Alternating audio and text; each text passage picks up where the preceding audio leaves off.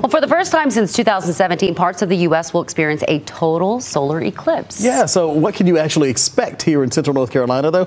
Meteorologist Rachel Dunsing tells us what we need to know. We're less than a month out now from the next total solar eclipse, or totality. That's where the sun is totally blocked out by the moon, happening in this orange path.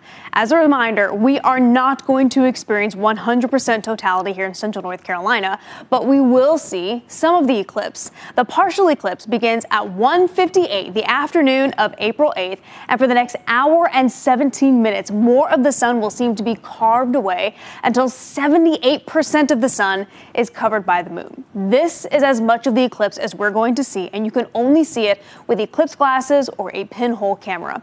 Our view of the eclipse will end just before 4:30 that afternoon. So of course we hope for good viewing conditions. On average, our high April 8th is a very comfortable 71 degrees, but our cloud cover can be a little more tricky. April 8th has on average clear skies a little more than 10% of the time, but mostly cloudy skies 26% of the time.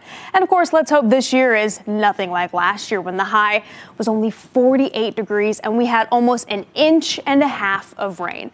As a reminder, we won't have totality here in North Carolina, but if the weather plays along, even that partial eclipse is still an amazing sight to see. I'm meteorologist Rachel Dunsing, CBS 17.